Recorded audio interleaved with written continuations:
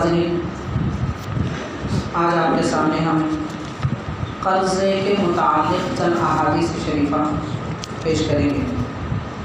इस दौर में अक्सर देखा जा रहा है कि लोग किसी ना किसी काम से लोगों से कर्ज़ा लेते हैं। तो कर्ज़ा लेने और देने के मुतालिक इस्लाम क्या कहता है? हर आदमी को चाहिए कि वो दुनिया का जो भी काम करे, उस काम से पहले ये जाने कि दीन इस्लाम इसके बारे में क्या हुक्म देता है?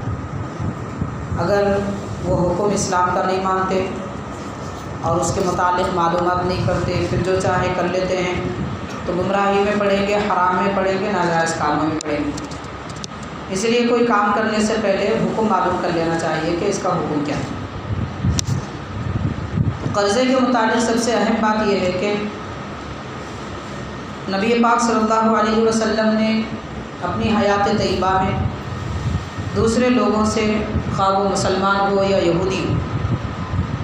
कर्ज़ा हुजूर ने ज़रूर लिया है। कई एक आदि शरीफा से साबित है, हजूर पाक सल्लल्लाहु अलैहि वसल्लम ने कर्ज़ा लिया है।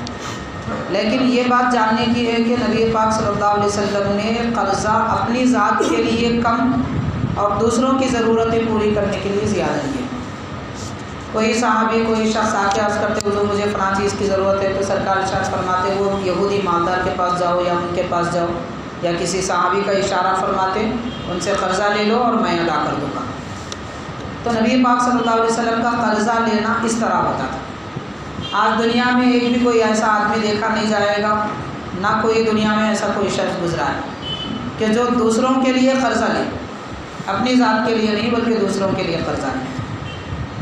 हाजिरीन कर्ज़ा लेना क्या माना रखता है और लेकर टाल मटोल करना, उसके बारे में भी हम बाद में बताएँगे किसी और मौके पर लेकिन उसके मुतालिक चंद अहादीस ये है हजर पाक सल्लल्लाहु अलैहि वसल्लम ने फरमाया लायम बगिल आमदिन अयाती अखाबू फ़ैसलू क़रदन वह यजीदू फ़ैमनाऊ किसी भी आदमी के लिए यह हरगिज़ जायज़ ही नहीं है कि उसका भाई उसके पास आए, यानी इंसान।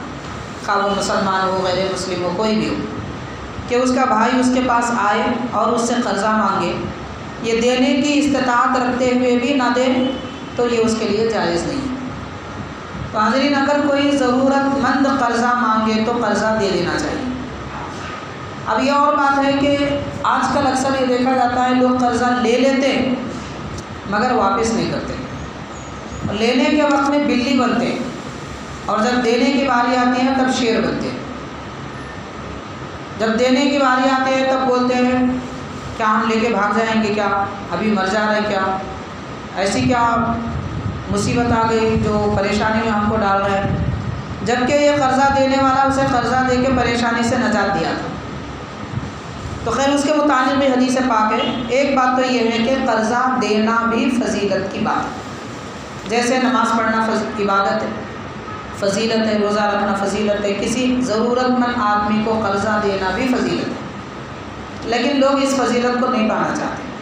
अब उसकी फजीलत क्या है? दूसरी अहादी से पाक में हुजूर ने फरमाया, कर्दुल मर्रतन खैर मिन सदक़तिन मर्रतन। ऊपर जो हदीस आपने सुनी है, वो तबरानी की हदीस शरीफ है। यानी कर्ज़ा अगर कोई मांगे तो इस्तात रखते हुए मना ना करे। और दूसरी जो हदीस आप समाप्त कर रही है इबन हब्बान की। तो फरमाया, हुजूर पाक सल्लल्लाहु अलैहि वसल्लम ने कि दो मरतबा कर्ज़ा देना एक बार खैरात करने से भी बेहतर। खैरात करने से क्या होता है? सदका देना जिसे कहते हैं अरबी में। तो सदका और खैरात देने से जो चीज़ दे दी है, वो वापस नहीं आती। और कर्ज़ा देने से दी हुई चीज़ वापस आने की उम्मीद होती है, वापस आती भी। तो ज़ाहिर है कि आदमी आम तौर पर लोग सदका देते हैं, खैरात करते हैं, लेकिन कर्ज़ा नहीं देते। नबी पाक सल्लल्लाहु अलैहि वसल्लम अपनी उम्मत को तरगीब दिला रहे हैं और ये फरमा रहे हैं कि सदका देना वाक़ता फजीलत की बात है। लेकिन एक बार सदका देने से अच्छा है, दो बार कर्ज़ा दो। यानी कर्ज़ा दो लो फिर दूसरे को कर्ज़ा दो। तो दो मरतबा कर्ज़ा देना ज़्यादा बेहतर है, एक बार खैरात करने से। वो भी फजीलत का काम है, ये भी फजीलत का काम है। ऐसा क्यों फरमा रहे हैं नबी पाक सल्लल्लाहु अलैहि वसल्लम? इसलिए इरशाद फरमाते हैं कि लोगों को खैरात करने, सदका देने की ख्वाहिश बहुत रहती है। लेकिन कर्ज़ा देने की तरकीब नहीं होती। सरकार ये बताना चाहते हैं, तुम्हारा खैरात किया हुआ माल चला जाता है, लेकिन पलट कर नहीं आता। आखिरत में मिलेगा, इसमें कोई शक की बात नहीं है। दुनिया में हाथ नहीं आएगा। लेकिन कर्ज़ा देंगे तो वो पलट कर वापस आएगा। इसकी तरफ़ हजूर इसलिए तरगीब दिला रहे हैं। तीसरे हदीस पाक है, हजूर पाक सल्लल्लाहु अलैहि वसल्लम ने फरमाया, किसी को कर्ज़ा देना अल्लाह की राह में जिहाद करने से भी अफजल है। राह खुदाबंदी में जिहाद करना कोई मामूली बात नहीं है, रमज़ान में रोज़े रखना आसान है।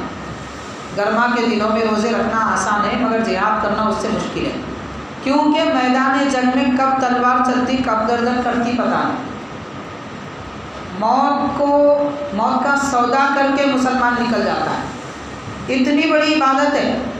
लेकिन सरकार फरमा रहे हैं कि किसी को कर्ज़ा देना उस इबादत से भी अफसर यानी जो लोग कर्ज़ा दे रहे हैं, उनकी कोई फजील, उनका कोई काम बेकार नहीं जाएगा। उनको सवाब मिलता रहेगा।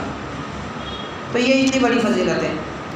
चौथी हदीस पाक में हजूर अकरम सल्लल्लाहु अलैहि वसल्लम ने फरमाया कि सदका देने की वजह से उसका सवाब दस गुना बढ़कर मिलता है, यानी दस दर्जे बढ़कर मिलता है। मिसाल के तौर पर अगर किसी ने एक रुपया सदका दिया तो दस रुपये खैरात करने का सवाब लेकिन सरकार ने फरमाया, अगर कोई कर्ज़ा दे तो उसे अट्ठारह दर्जे बढ़ के सवाब मिलता है। अट्ठारह दर्जे बढ़कर सवाब मिलता है। मतलब आप मिसाल के तौर पर हमने अगर किसी को हज़ार रुपये कर्ज़ा दी तो अट्ठारह हज़ार का सवाब मिलता है। हज़ार रुपये अगर सदका दिए, खैरात किए तो दस हज़ार का सवाब मिलता है। तो बहरहाल, कर्ज़ा देने की ज़्यादा फजीलत है। ये चार हदीसें कर्ज़ा देने के मुताबिक है। अब ये कर्ज़ा लेना कैसा है? क्या कोई फजीलत की बात है कर्ज़ा लेना? अब आजकल लोग कर्ज़ा तो ले रहे हैं। मैं समझता हूँ शायद जितने लोग कारोबार कर रहे हैं, उसमें नब्बे फ़ीसद लोग कर्ज़े में मुबतला हैं। बगैर कर्ज़े के लोग कारोबार ही नहीं करते। क्यों? वो वजह वही जाने, उनको मालूम। लेकिन कर्ज़ा नहीं होना चाहिए। कारोबार भी करना है तो बगैर कर्ज़े के कीजिए। असल में होता क्या है? दुकान का डेकोरेशन पे चार लाख रुपए लगा देते हैं। अब ज़ाहिर है कि कर्ज़ा लेना पड़ेगा। अब ये डेकोरेशन का खर्च ख़रीदने वालों से निकालते हैं। ये तो ज़बरदस्ती की बात हो गई। आप अपनी दुकान सजाएँगे और ख़रीदने वालों को से पैसे देंगे। कीमत बढ़ा देते हैं उसमें। तो ये एक वजह है। दूसरा, सामने वाले की दुकान को देख के ये अपनी दुकान चमकाना चाहता है। उसने ऐसी बनाई, मैं उससे अच्छी बनाऊँगा। इस फ़िक्र में लोग कर्ज़ों में मुबतला हो गए। चलो, कर्ज़ा लेते तो कोई बात नहीं थी फिर भी। लेकिन कर्ज़ा नहीं ले रहे लोग सूद ले रहे हैं। आज कौन कर्ज़ा देगा भाई? इल्ला माशाल्लाह भोले भाले लोग ही दे सकते हैं। समझदार, अक्लमंद आदमी तो नहीं दे सकता। जो भोला वाला है, वही कर्ज़ा दे सकता है इस दौर में। तो सूद पे लोग दे रहे हैं और कारोबार करने वाले सूद पे कर्ज़ा ले रहे हैं। उसके बाद नतीजा क्या निकलता है? खुद भी हराम खा रहे हैं, बच्चों को हराम खिला रहे हैं, बीवी को हराम खिला रहे हैं माँ बाप को हराम खिला रहे हैं। हराम फ़ैन की हवा ले रहे हैं हराम कूलर की हवा ले रहे हैं नींद भी हराम की ले रहे हैं। तो अब ज़िंदगी हलाल की कहाँ रही? सोचना चाहिए आदमी को। ज़ाहिर है कि हलाल बीज बोएगा तो दरख्त का फल भी हलाल मिलेगा, साया भी हलाल मिलेगा, फूल भी हलाल मिलेगा। हराम बीज बोएगा तो सब हराम होगा। दरख्त से आने वाली हवा भी हराम की तो हाजिरीन कर्ज़ा लेना क्या है? सबसे पहले ये समझ लीजिए, कर्ज़ा कहते किसको? है कर्ज़ा का असल माना है काटना। यानी हम जो कर्ज़ा ले रहे हैं, ये हमें काट देगा, ज़िंदगी को काट देगा, चैन को काट देगा, सुकून को काट देगा, रात की नींद को काट देगा। तो एक काटने वाली चीज़ को कर्ज़ा कहते हैं। तो जो चीज़ काटती है, सुई, कैंची, क्या जेब में रख के फिरेंगे? डर होता है कहीं चुभ ना जाए, जेब ना कट जाए। तो काटने वाली चीज़ को कोई अपने करीब नहीं रखता। तो जब काटने वाली चीज़ कोई करीब नहीं रखता तो फिर कर्ज़ा क्यों ले रहा है? क्यों उसे अपने गले से लगा रहा है?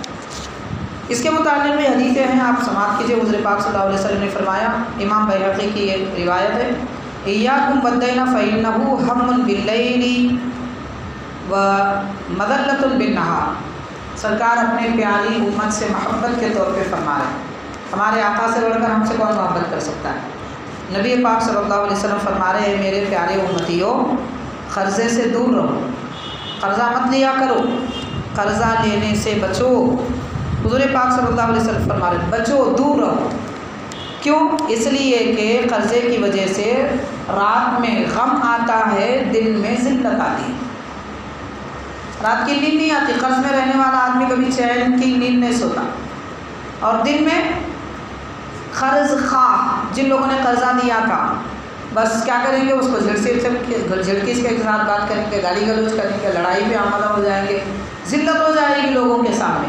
तो ये दो मुसीबतें कर्ज़े की वजह से आती हैं, कर्ज़े से दूर रहो, ये सरकार फरमा रहे हैं। अब ज़ाहिर है कि प्यारे आका सल्लल्लाहु अलैहि वसल्लम के हदीस की खिलाफ वर्जी करके कोई चैन पा सकता है? अगर मिलता है चैन हजूर की हदीस के ख़िलाफ़ करके तो पा लीजिए। ले लीजिए, रोज़ाना कर्जा लीजिए। हजूर पाक सल्लल्लाहु अलैहि ने इरशाद फरमाया कि किसी आदमी को कलर कलर के कपड़ों का पैबंद लगा के लिबास पहनना अच्छा है? यानी एक लिबास है किसी आदमी के पास, वो फट जाए तो कौन सा भी दूसरे रह जैसे मेरी ब्लू शेरवानी, मैं इस पर अगर फट गई तो ग्रीन का, ग्रीन कपड़ा लेकर पैबंद लगा के सी लो और पूरे बदन पे, पूरे कपड़ों पर पैबंद लग जाए। ये अच्छा है इस बात से कि सरकार ने फरमाया, वो किसी आदमी से कर्जा ले जिसको अदा नहीं कर सकता। तो कर्जा लेने से अच्छा है कि पैबंद ज़रा ठिगले लगे बोलते ना तो थिगले लगे हुए कपड़े पहनना अच्छा है, मगर कर्जा लेना अच्छा नहीं। ये रहमतुल्लामीन सल्लल्लाहु अलैहि वसल्लम फरमा रहे हैं। अब देखिए, हमारे पास शादियों के लिए कर्ज़ा अकीक़े के लिए कर्ज़ा, हज को जा रहे हैं, कर्ज़ा, बच्चों का अकीक़ा करना, कर्ज़ा। हर कारोबार करना, कर्ज़ा, हर काम पे कर्ज़ा। कर्ज़ा ले तो लेते हैं, फिर वापस पूछना नहीं कोई, और हम देंगे वो डुबोने का क्या अजर होगा, उसकी क्या सज़ा है, वो तो हम दूसरे मौके पे बयान करेंगे। जब चार ने चौदह हदीसें सुनाएँगे। कितनी बड़ी, कितना बड़ा बवाल है, कैसी सज़ा मिलेगी। कि कर्ज़ा लेके जो नहीं देता, वो देता है। और खुद कर्ज़ा देने वाला जो उसका एहसान करने वाला है, उससे मुँह छिड़ा के बात करता है, उसका तो उसकी तो सज़ा ही अलग है। और एक हदीस पाक है, हजूर अक्रम सल्लल्लाहु ने फरमाया कि लोगों, कर्ज़ा लेकर कभी ख़रीदारी मत करो। लोग दुकान में खाता खुलाते किराने की दुकान में खाता, दूध की दुकान पे खाता। कर्ज़े का जो है हिसाब किताब रखते देखिए, वो भी फरमा रहे हैं हमारे आका सल्लल्लाहु अलैहि वसल्लम कर्ज़ा लेकर चीज़ें मत खरीदो अपनी ज़रूरत की। क्यों? फ़ैन नबू यलकुसुद्दई दीन अवल हसन। इसलिए कि कर्ज़ा लेने से दीन भी कम हो जाएगा, इज़्ज़त भी कम हो जाएगी। इज़्ज़त भी कम हो जाएगी, दीन में भी कमी आती है कर्ज़ा लेने की वजह से। क्यों? इसलिए कि आदमी कर्जे में मुबतला रहेगा जहनी परेशानी में रहेगा। अब जहनी परेशानी में रहने वाले का दिल ना नमाज़ में लगेगा, ना कुरान में। ना मस्जिद में, ना सजदे में। तो ज़ाहिर है कि दिन में कमी हो गई। तो दिन में भी कमी होगी और इज़्ज़त में भी कमी होगी। और हजर पाक सल्लल्लाहु अलैहि वसल्लम ने फरमाया, सबसे बेहतरीन आदमी वो है जो कर्ज़ा लेके अदा कर दे। मतलब ये, कर्जा लेके अदा न करने वाला सबसे बदतरीन आदमी अगर दुनिया में बदतरीन आदमी को देखना है शरंगेज। शरीर बदतरीन आदमी को अगर देखना है, उस आदमी को देखो जो कर्जा ले और फिर वापस ना करे। तो सबसे बेहतरीन वो आदमी है जो कर्जा लेकर अदा करे। मुस्लिम शरीफ की हदीस है। आखिरी हदीस पाक सुना रहा हूँ पाक सल्लल्लाहु अलैहि वसल्लम ने फरमाया कि कर्ज़े का बदला क्या है? कोई आदमी कर्जा दे उसका बदला क्या है? उसका बदला बस इतना है, अल्लाह की तारीफ़ करो और उसका शुक्रिया अदा करो, फिर कर्जा वापस करो। ये सबसे बेहतरीन बदला है। यानी ज़रूरत में एक आदमी हमारे काम आया तो हम उसका भी तो कुछ एहसान करना चाहिए, उसका बदला चुकाना चाहिए तो क्या बदला करेंगे? शुक्रिया अदा करो और जो लिए थे वो वापस कर दो। तो हाजिर ये कर्ज़े के मुतालिक चंद रिवायतें और इन ताला कर्ज़ा लेके ना देने पर क्या वहीदे हैं, वो तफसीत हम बाद में आज करेंगे।